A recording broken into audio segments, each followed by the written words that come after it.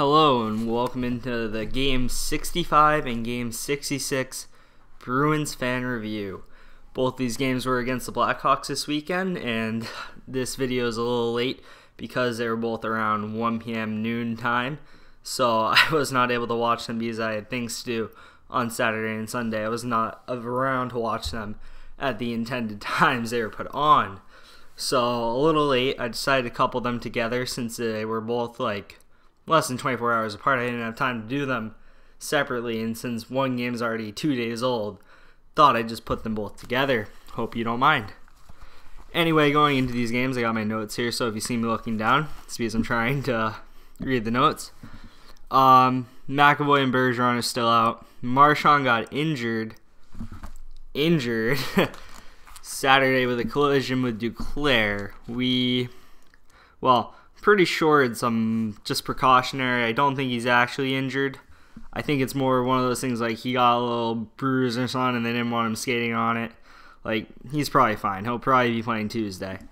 Uh, playoff pitcher Chicago's out. They have very little to no chance. Mathematically, they're not out, but realistically, we all know they're out. Bruins feel like they're getting uh, locked into the second seed in the Atlantic, especially with how much Tampa's winning and we have games in hand, and we're pretty well ahead of Toronto at the moment. But uh, team can go on, a, on the run in the AHL and be back just like that. So, you know. Uh, we ended up splitting the home and away. We won on Saturday at home 7 to 4, and we lose in Chicago 3 to 1. Now, not really what you want with who they're facing. You would like to get at least three points of the four. You feel like anything less than that, and you're not really playing up to par of where you should be. But uh, not an awful result because you know you're tired, all that. Your schedule's very uh, clustered together right now. Lots of games, a uh, few days in between. So I mean, you can live with it, but you want to get more than two points. Um, the first game, the Bruins outshot the Blackhawks 40 to 27. Went four for six on the power play, which is insane. That is good. The Bruins power play is starting to click. Hawks went over two on that. Uh, fun fact on the year: Duncan Keith has six primary points, or seven now, which is uh, awful. And if you watch Duncan Keith play Saturday, awful is a pretty good word to describe him this year. Um, he had the lowest time on the ice for the Hawks defense, and he was still a minus two on Saturday. Thought that was interesting with how much of a workhorse he's been. They probably just don't want to overuse him, and I bet he's not really trying too hard out there because he knows the games don't mean anything.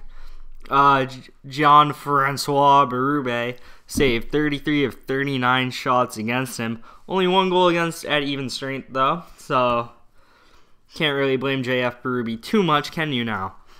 Uh, Rastop 23 of 27, not a good day, but good enough for how many goals we put up. Um, and now we'll go over the goals, goal by goal, description by description. Uh, Bruins' first goal was a shorthanded goal by Noel Acciari from Sean Kuraly. Uh, Duncan Keith made a turnover on the blue line. Very uncharacteristic, but as Hawks fans, they probably say he's been doing this all year. Uh, he turns over. Sean Kuraly kind of picks him off, I guess you'd say, too. Good on Kuraly. Breakaway. Uh, not the best hands on Kuraly, but he's got decent speed, so he avoids Keith's back, uh. So uh, he shoots it. It kind of lays out in front. Noel Acciari comes, buries the rebound, and it's reviewed, but it was very minimal contact, and the goal stands. That was at a, a that was 11 minutes and 27 seconds into the game. Flip to my second page of notes. Uh, Bees go up 2-0, 14 minutes and 10 seconds into the first. Krejci's 15th from DeBrusk and Holden on the power play. Krejci's been starting to get a goal scoring touch here, and it's kind of surprising because you think Rick Nash would be the one on that line.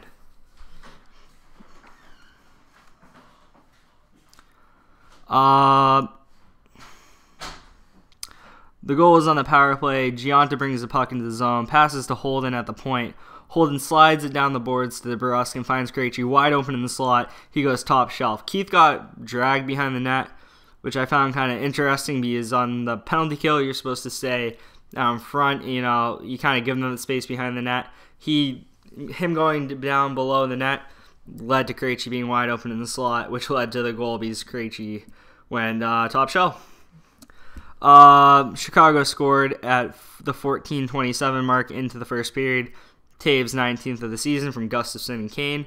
Shot from the point deflected off Toews in front. Kuraly uh, or Chari probably needed to cover the point. they definitely did. Left him wide open, got the shot off, and it took an unfortunate bounce, and just like that, 2 2, uh, 2 1. Uh, Chicago would tie the game 2 2. Eric Gustafsson's third of the year. He had a very good weekend versus us from Schmaltz and DeBrincat. Uh, very basic shot from the point here. Uh, it was a pass from Schmaltz where he was like up at the point with him, couldn't really defend it too much. Hayden was screening Tuukka. Hayden was uh, doing a decent job this whole weekend, just being a pest. And uh, Tuukka doesn't see it, ends up in the back of his net, tied 2 2. Chicago then go up 3 2. Uh, Hayden again uh, from Sharp in Kampf. Kampf, with a great back check on Riley Nash really made it uncomfortable. Turns the puck over. Hayden comes and scoops it up after Kampf's back check. Comes in two on one with Patrick Sharp versus Torey Krug. He decides to shoot it, and shoot he does, and it ends up in the back of the net past Tuukka Rask. 3 2 Chicago. The Bruins are then tied up with 10.05 to go in the second. Krejci 16th from DeBrusk and Gionta. Gionta had a decent weekend. Uh, Toews won the faceoff, threw it on the boards. I believe uh, Keith was the one who did that. Krug keeps it in, throws it back in the zone. Keith bobbles it. Keith did not have a good game. Uh, DeBrusk picks it up, beats Keith. Uh, then Seabrook lays out, goes around Seabrook very patiently, slides it over to Krejci, has basically an empty net because of the great pass, and he buries it. Uh, very good uh, combo of Krejci and Spooner. Ah, not Ryan Spooner. Krejci and DeBrusk. Very good combo. Okay, let me reset after that. So it's tie game at the moment. Uh, Chicago would make it 4-3, 15 minutes and 46 seconds into the second, so around 5 minutes left in the second, something like that. Uh, Highmore, uh, never heard of this guy before. I believe it's his first of his career. Might just be first of the year. I think it's first of the career, though. Uh, from Gustafsson. Hear that name a lot. And Anisimov. Uh, Gustafsson made a great move to beat Rick Nash at the point. Like little, uh, uh, like I hope you like the body movements like that, but like you know, it's the best way I can do it on here. Uh, beats Rick Nash. DeBrusk is forced to come over to take on Gustafsson. Otherwise, he'll have it currently into the slot. Highmore gets open in the Ovechkin like position and goes under Tuukka's uh, blocker. Yeah, he goes under Tuukka's blocker, and you, you kind of look at this and you're like, Rick Nash shouldn't be getting beat.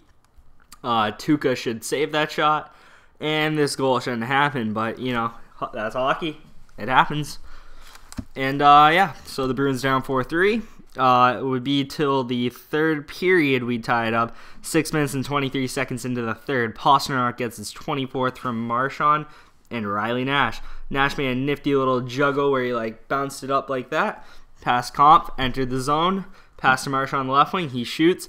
Big rebound to the right side. Pastrnak puts it in. Uh, looked like uh, JF Berube didn't really know where the puck was he didn't really try to get over after it landed to his left side right in front of the net. And uh, Pastrnak made a good net drive and he put it in. Like to see that Pastrnak. He's not the most physical player, but he can be when he wants to be. So I'd like to see that more from him. Uh, the Bruins again would uh, score and make it. Oh, this is uh, Pat Kane slashing. So uh, both games had a double minor. Both games were kind of won based on those double minors, and this one's Pat Kane. Um, and Pat Kane would benefit from the one on Sunday, not the one on Saturday though. So he uh, high sticks. I don't know who he high sticked. I don't. I didn't write that down. My bad. But uh, high sticking double minor, so you get two penalties. And uh, very shortly into it, Gionta gets his second of the season from DeBrusk and Grzelcyk. Uh, Grzelcyk shot from the point, blocked, but goes on net. It like hits DeBrusk after it hits a Blackhawk, and uh, finds Geo basically at the same spot Pastrnak buried it in. And again, JF Berube his rebound control, you know, I wouldn't really blame this one on him though, because that puck movement was uh, crazy on him. Like it hit DeBrusk, went to the left, went to the right, then landed right in front of Geo. There was no chance for JF Berube on this one, and Geo picks up the trash. Fun fact: Gionta had a 48 goal season once. Did not realize he had that high of a goal scoring season. Especially when you look, he has like 300 goals, and like one sixth of his goals came that year. Pretty interesting. Anyway, same power play. Oh no no, yeah, same power play. Uh, Rick Nash from Krug and Marchand uh, working around the zone. Krug realizes that the big man, Rick Nash, 6'5", 200 whatever pounds, is just sitting in front of the net. He whips it in front of the net, and Nash gets a tip. It beats JF Berube, and that's 6 4 Bruins. Game is basically iced with the empty netter by Sean Kuraly from uh, Schaller and Chara. DeBrusk had three assists on the day. Krejci had two goals. Marchand, Gionta, and Kuraly had two points. Good to see. 7 4 win.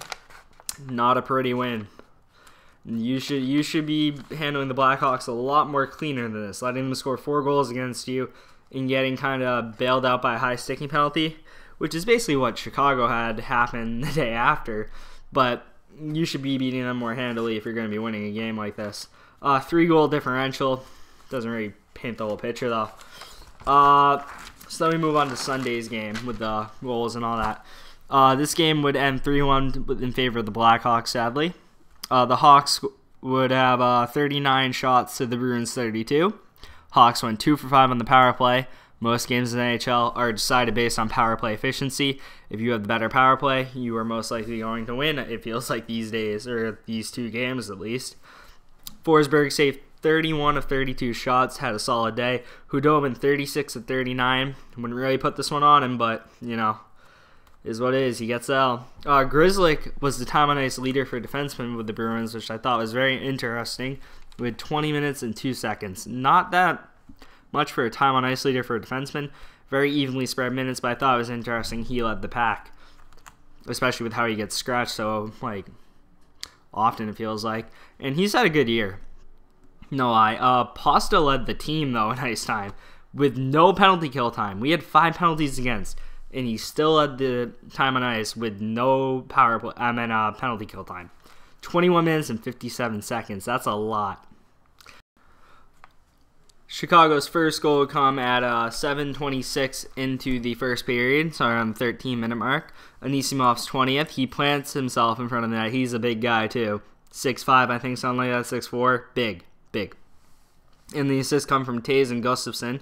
Uh, it's a power play they're working around. Toews takes a shot from the OV position, as I like to call it, where they're like backwards skating away, kind of at the high uh, upper top of the circle, I guess you'd say, towards the boards. They're back spacing and all that. They're going there. I don't know if I described that well, but like, if you know hockey, you know what I'm talking about. If you don't know what I'm talking about, look up Alexander Ovechkin highlights and look at where like what feels like 80% of his goals are scored from. You'll uh, get what I'm saying pretty quickly.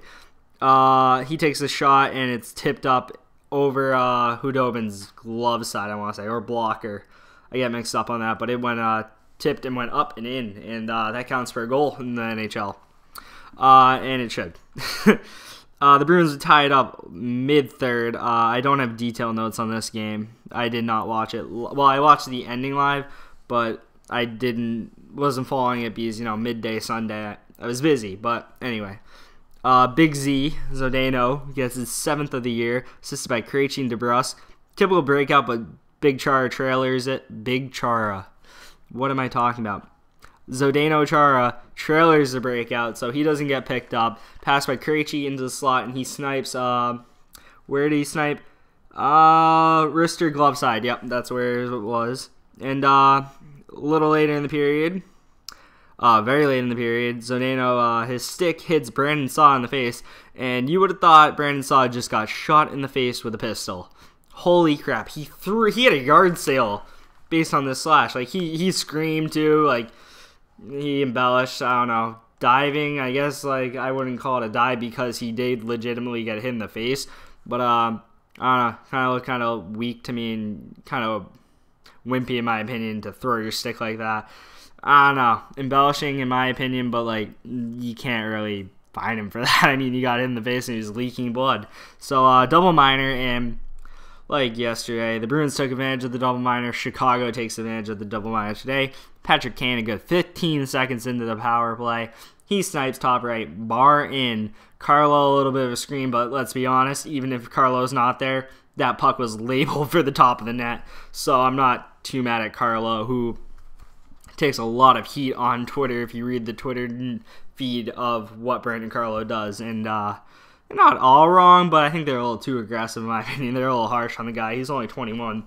Uh, anyway, uh, same power play. Well, end of the power play actually. Char comes on the ice. Instead of joining the defensive effort, Char is like, "I'm gonna go for a change." It's like, no, Char, no. You go, you go in the zone and you defend. You are six nine, well rested with the two, four, actually four minutes in the box. No excuse. You gotta join the play. And uh, Seabrook realized that he drops lower to get into offensive scoring position in the slot. Uh, he is found by Toews, and Seabrook takes a nice shot on net, and of course John Hayden is right in front of the net again, and it goes through Khudobin's five hole. I want to say, I think I remember being five hole. Chicago wins three one, and uh, yeah, not. It was actually a decent game from the Bruins, no lie, but like they didn't do enough to win. I feel like both games, the team that won deserved to win it wasn't pretty in the first game, but I felt like the Bruins were the better team. Uh, Chicago definitely like was the better team in the second game, even though the Bruins were in it until that double minor. Uh, Toews got three assists on the day.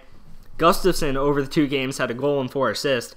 He was a monster against the Bruins. Very impressive. Um, moving on though, past the home and away, you don't get too mad out on one loss from a home and away.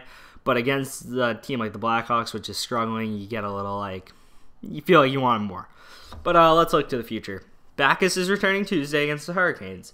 That is very good. We need all the help defensively we can get in our forward core. Like, it just has not been pretty with Bergeron, and McAvoy out. So Backes coming back will be a big boost to our defensive efforts. Uh, Tampa is still six points ahead of us. We only have two games in hand now instead of the three going into this that is why like you should be a little upset as a Bruins fan that we weren't able to get more points. He's now Tampa, who seemingly can't lose in regulation and won't lose in general at the moment. Uh, they're ahead of us, and we don't have the mathematical game in hands to catch up to them. Uh, we're well ahead of Toronto, who is at 87 points. We are at 94 points, by the way.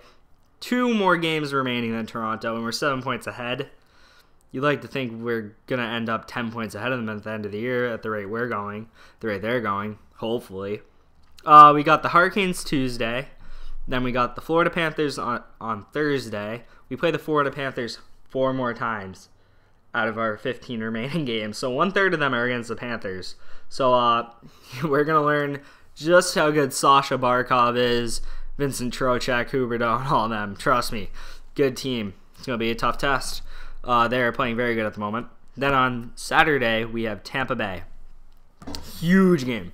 Huge game. Uh, should be a fun one. Hopefully, uh, Marchand's in by then. Backes is in by then. We got no more injuries. We know Bergeron is not going to play. McAvoy is not due back until early April. So, uh, it's not really a playoff preview because two of our best players might not play. But, uh, it's still going to be a fun game versus Tampa Bay and their high powered offense. Uh, should be fun. Anyway, plus we have three more games versus Tampa for the rest of the year, so it's not the last time we're going to be seeing them before the playoffs. Um, like Marchand's injury is described as upper body. I think they're just being precautionary though. I think he'll be good. Um, Bergeron isn't coming on the road trip, so the earliest he can return is the 19th versus Columbus at home. Uh, it said at least two weeks from February 27th on Roto World, which is what I use for injuries and all that. Uh, we're getting to that point. It's almost two weeks. He's guaranteed to be out the road trip. So the 19th, that's about three weeks, which, you know, sounds like he should be good to go. Plus, I hear he's in a walking boot just for precautionary reasons and healing reasons, and that, like, he's pretty good. It's just rest related, and, you know, why rush him back when you're basically locked into the second seed of your division? Uh, like I said, McAvoy's out to early April. Backes is back on Tuesday. Uh, we do not have another back to back until the 31st of this month and the 1st of April, where you take on Florida at home and then Philadelphia away. So that's a tough little back to back against two decent teams. I'd like to go one and one like we did against the Blackhawks this weekend then, and hopefully we win most of our games besides that, and at least stay in the second seed. Because like moving up, like yes, you want home if you face Tampa, but you definitely want first in the first round. So second seed in the Atlantic, you can live with that. You're not gonna be too upset. So uh, that's it for this uh, Bruins review. Two games, a little longer than usual probably, But uh, you know, you gotta talk about what you need to talk about. And uh, I hope you guys tune in for my next video, which will probably be coming out Wednesday morning after the game Tuesday night. And uh, please hit like and subscribe if you like my video. If you have any suggestions down, put them down below in the comments. And uh, have a nice day. Ben Patar 98. I will see you later.